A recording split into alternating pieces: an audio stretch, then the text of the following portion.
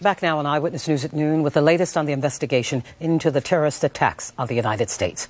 The FBI has taken a San Antonio, Texas doctor to New York for questioning.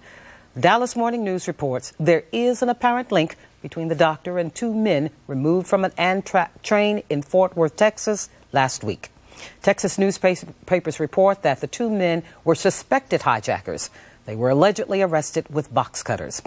Also today, uh, Bush administration officials still say Osama bin Laden is their number one suspect in the attacks.